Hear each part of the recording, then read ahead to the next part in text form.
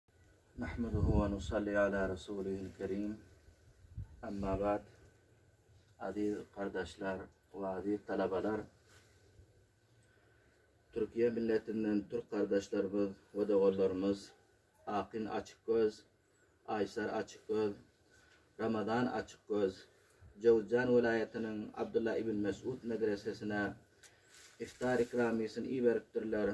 Allahym bulardan razy bolsun, Allahym bularyň iftar ikramysyny kabuly menzur aýlandyrsyn.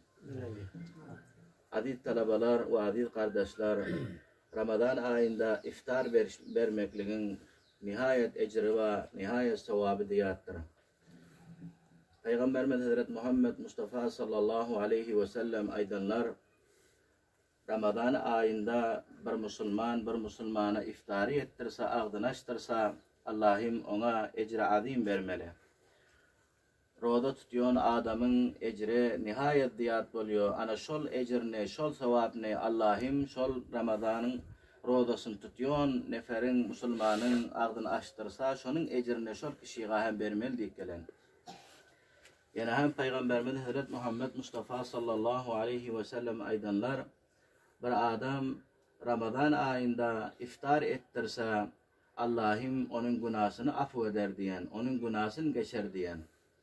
Şonuň üçin biz sizler Ramazan aýynda iftar etsek, bul köp bir fazylaty bar we köp bir sowaby bar we köp bir ejri bar.